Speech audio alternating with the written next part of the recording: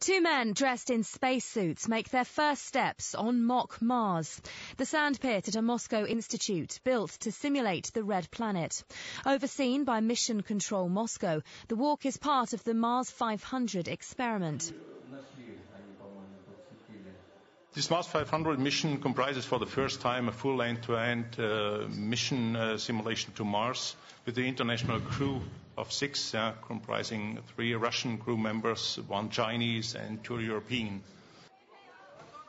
Starting last June, an international crew of six researchers have spent eight months locked away on a pretend mission to Mars, living isolated from the world in a series of tubes representing a spacecraft.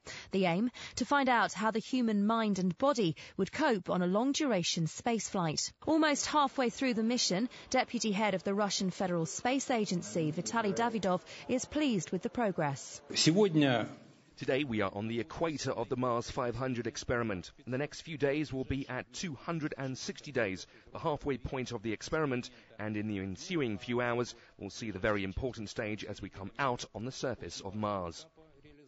The men undertook some virtual experiments with the assistance of a robot. Watched carefully by journalists, the whole activity took an hour and 12 minutes.